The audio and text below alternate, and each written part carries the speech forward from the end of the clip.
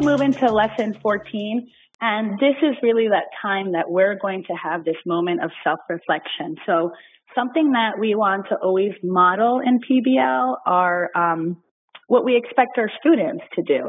And we want the students to self-assess and reflect upon their learning and what's happening and, you know, why, why they do the things they do. And um, that's what we're going to look at when we look at our pro- assessing our projects and assessing our product. So um, right away, and, and, this is a big question when we start PBLL is, how do I know um, that I'm on the right track? And um, it can be it, it's not a simple question um, and there's going to be some amazing moments in pbll and then there's going to be some moments that you're going to look back and say um, i think i could have done that a little bit better. And that's okay right? Because that's what good teaching is. Um, so how do I know we're on the right track? We are going to use um, what BIE has, which is a project design rubric. And so this rubric, as um, and I know you know this information has the eight essential elements on it. And we're going to be able to take our, our rubric, take our project that we're designing, and ask ourselves, does my project incorporate these best PBL practices? How do I know? So we're going to always look at what's on the right side of the rubric. This rubric is two pages, um, four rows on this side, and then and then four rows on the other because of our eight essential elements. Now, of course, what we're going to do when thinking about PBLL is look at all of the elements, but with that world language lens. You know, how do I know that they that my best practices and world languages is in my um, project? So we're gonna um, talk about each one of the um, elements and then think about connect that to um, our world language classroom. So significant content, and I'm always going to pay attention to what's to the right. You know, the project is focused on teaching students important knowledge and skills derived from standards and key concepts at the heart of academic subject areas. So right away, you're going to ask yourself, is my project focused on teaching students important knowledge and skills derived from standards and key concepts? How do I know this in the world language classroom? So we're going to talk about um, you know, language teaching, we're going to talk about content, and then we're going to talk about proficiency. So, content wise, we're going to um, use the, and I know this information I think was shared in lesson two, which is amazing information. So I'm just, you know, re- reviewing this from lesson two um, as well. So we're going to use the world's um, readiness standards for learning languages. We're going to use the ACTFL standards. They're going to help us. We're going to use our state standards. You know, in New Jersey, we have our New Jersey World Language, you know, curriculum standards. Um, we're going to make sure that the content is aligned with the proficiency level. So when thinking about PBLL, it really should reflect what um, the standards think, you know, what the teacher, the standards, what is this essential content knowledge, and also what is the language that's going to be necessary for them to to to learn or acquire. Um, and you know, language language acquisition takes a long time, so it might be what performance level are they going to be at, um, and then you know proficiency can take a little bit longer, which is okay.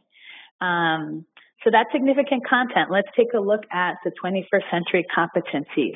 We're always going to um, look at the right, like I said, and um, let me read this to you. It says here, and I'm not going to read it to you. I'm going to have you start like I'm going to turn them into questions you know, are there a limited number of important 21st century um, skills that are going to be assessed and taught? So I'm going to recommend that when you create this um, first project, please consider one 21st century skill to teach and assess. One, because teaching and assessing is going to take time when we think, you know, and so like a lot of times we're used to this idea that like we're going to cover certain information in you know these two weeks. And when we when we throw in there um, teaching and assessing a skill that's going to make uh, take things you know make things longer.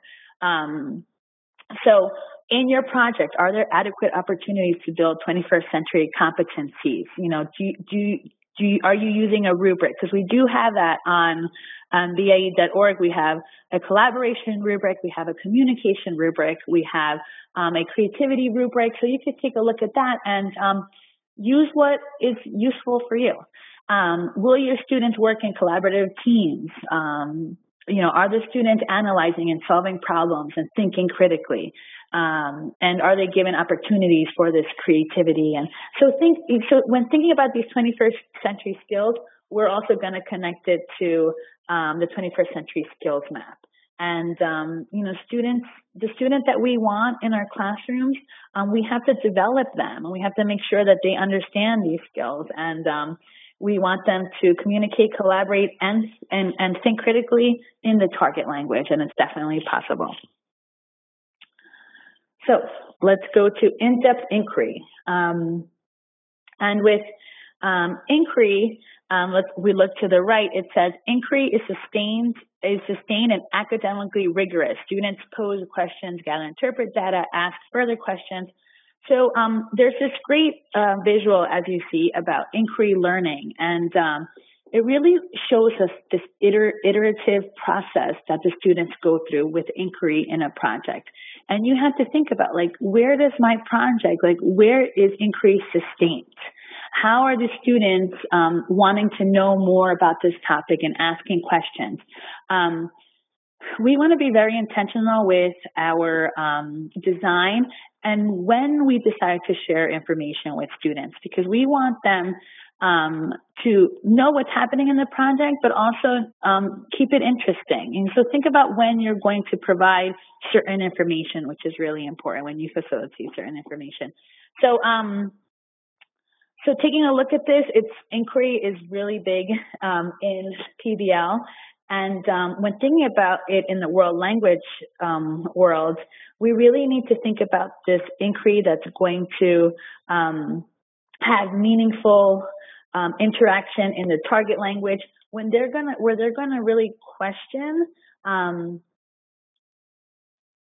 uh, you know the cultural perspectives and that's something that's going to be so big in um, PBLL so how are you going to have that in your project um, looking at the driving question, uh, the driving question captures the project's main focus. It's open-ended. Um, it's understanding and inspiring to students and motivates them and drives them to learn. And um, they gain this knowledge when answering the driving question. Um, the product should always support the students in answering the driving question. And really, in the world language and, and thinking about world languages, it's going to increase their proficiency and it's going to have them actually engage with the target culture. I want to remind you that um, with the driving question, it should never be Googleable. So I wasn't sure if that was ever shared before because if they could Google an answer, then we know that um, we really need um, a um, uh, let's say a tougher, like a, a bigger um, driving question. So the need to know, the need to know really motivates the students. Um, and um, you'll never, in it, when a PBL project is well designed, you're never going to have a student ask you, "Why do we need to know this? Like, why are we learning this?" Because your design is so motivating and so engaging to them, and it has a purpose. They're going to right away say, "I have to learn this, and I have to learn the language because it's going to help me. It's going to help me, and it's going to help others." Um, so here are some ways that we could start a project. You can, um, and this entry event is really like where you hook the students to want to learn more. Um, have you thought about your project? Have you thought about what this entry event will look like? Will you take the class on a field trip?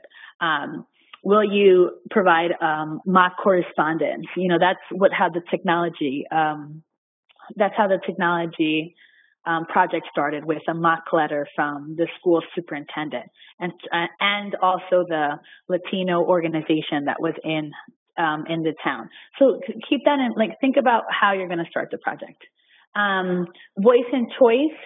Voice and choice is um, there's really like a like let's say like a spectrum of voice and choice. Like you could allow little to no voice and choice, um, or you can allow lots of voice and choice if the student, once you feel comfortable, because a lot of it is like, um, um, you you lose a little bit of control when you allow more voice and choice. Um, so thinking about um, thinking about our students, they could have voice and choice of like what they can do in the project. You know, they might be motivated to say, hey, I want to go more than just communicate. I want to participate.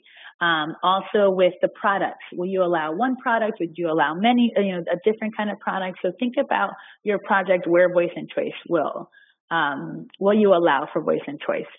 With critique and revision, we're talking about um, in your product, um, where are those opportunities that the students are going to provide feedback and critique to each other? How are you going to ensure that this peer feedback for them is um, something that's going to be constructive and make them better learners and make them just better people that they'll be able to provide feedback for others and in a nice, kind way. Um, and that's going to be big. Um, the public audience, they um, in your project? Where, where, will they share their work with other people? Now, sharing work, um, there's really two places that it could happen. It could actually happen during the learning process, or it can be this culminating presentation. Um, and when it says other people, it could be one person that is helping you along, you know, is their actual public audience. So um, there's this great project um, with Boeing out in um, Seattle. And three engineers were a part of the project um, for the students when they were creating um, these um, uh, test plane or something like that. So it wasn't that you needed like this whole, like it doesn't have to be this big show. It could really be someone that could help them during the learning process, during the whole project, or the culminating product. And here are just some ideas for you to think about, like who your audience is, who will care about the student product. How how, how will this be um, affected? How will it, this affect the um, the community? Um, and here, once again, is the products. Like I said, we're definitely going to share that with you. And um, thinking about products, I'm sorry, this picture is like a little bit blurry. Um, I want you to realize that when you think about um, products that you're going to create with your um, in your project um, design, the more it, when you allow the same product and the same focus, taking a look at this um, box right here, the left, the top left box, that allows for more control over the project. But when you think about different products and different focus, you're thinking about different rubrics for every product and then how each rubric is going to assess the focus of the product. So it's, so really it's, it's when you're, if you're just starting with PBLL, you know, try to stick to the same product and the same focus, which is okay. Um, and as you get better with PBLL, then you can move to, um, to these different products, same focus. So keep keep that in mind. Um, BIE also has a rubric for rubrics, um, which I thought was pretty interesting. And um, you can take a look at it to see because you really have to think about your products have to be assessed with a rubric. And um, the rubric, um, either you're going to use a rubric that you've done in the past or you're going to create something new. I really recommend you looking at products from past years if you have that, if you started this PBLL journey, and taking a look at your best product and what you liked about it and what you know the students learned from it and how you're going to use that for um, assessment and what your worst product looked like and then how can we make it better? You know use that those examples to help you write your um, rubrics. And um, it's it's I feel like you could have a course on making rubrics for a whole semester as well. So that's I mean that's it's just it's a lot to learn the rubric, but we definitely recommend rubrics for your products and that's how you're going to so we started with the big assessment, like assessment of your project, and now we're assessing products. Um, and just with assessment in general, it's you know, how do I know I'm on the right track? You know, how do I know that I'm, you know, starting from the beginning? I, I'm, I have this project. I'm, I'm, self-assessing. Um, I have all these products, and they're focused on language.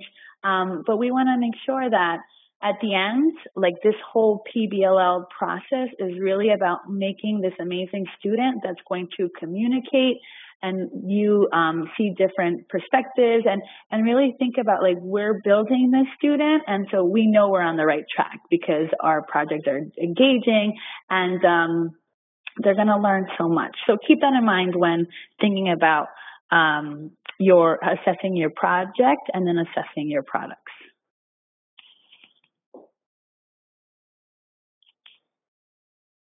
And I think that's it. okay. Uh, hmm. can you hear me? Yes. Okay. Uh, so far we have one question, so let me give that to you. Hold on.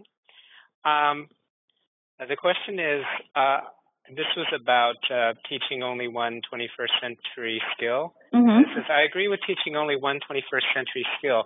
In your experience, is there one that is most commonly needed among beginning or early L2 learners?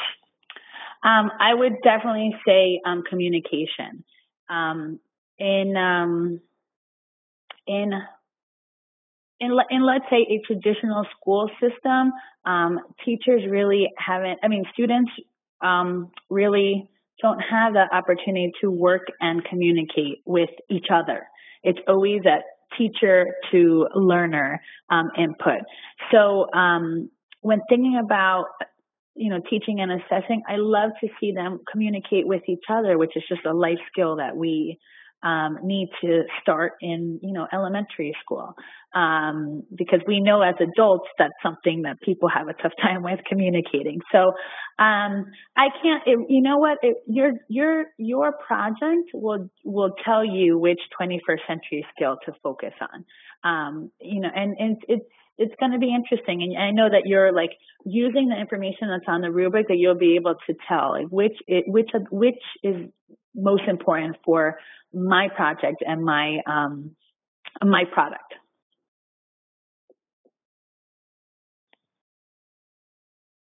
Okay, uh, we just have another question. Um, does BIE have sample project evaluation rubrics?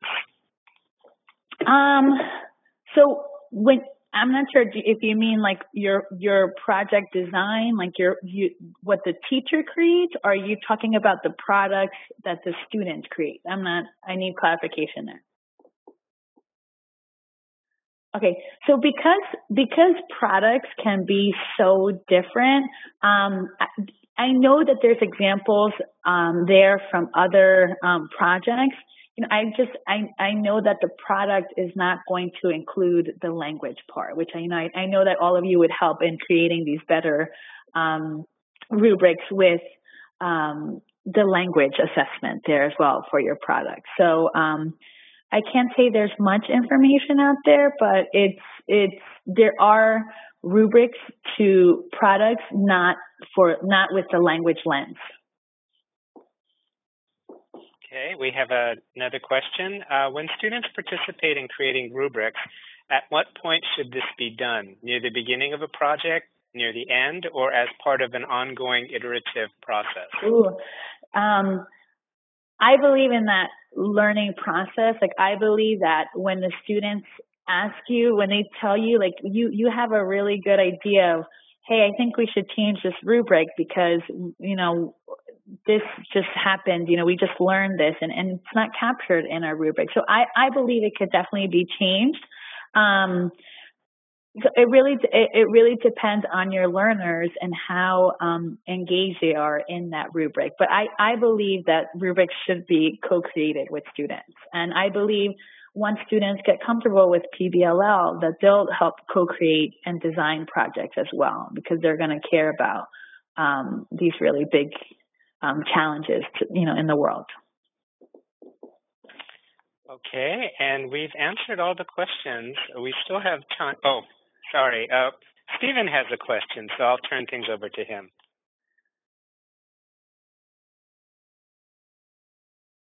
My question is, uh, Liliana, what projects are you working on with your students right now, and what level are they at? Can you describe a little bit more to us oh. about what's going on in your class? Stephen, I wish I could say that I'm working with students right now. I just left the classroom and um, I am a supervisor of a world language department in Fair Lawn, New Jersey. So um, I'm pretty new, and this whole idea of PBLL um, is something that um, I really want to um, bring to my um, colleagues, but in a way that they're going to want to learn about it. So at this moment, um, I am not in the classroom anymore and really happy because now I'm overseeing um, I'm overseeing a whole department of Chi- Chinese, Spanish, and French. Um, so I'm hoping to um, in the future uh, start working with my teachers on creating these PBLL projects. And um, it's it's it's not easy, you know. And anyone who says like PBLL is easy, it's not. It's but it's an amazing um, learning. It's amazing learning for our students. And so I am. Um, I try to bring these PBLL um, ideas to my teachers um, by modeling it in our department meetings and in our PD. Okay. Um, just a reminder again, uh, if you haven't participated in the poll, please do so. I don't see any other questions, but we again have time, so maybe we'll wait for. No? Okay.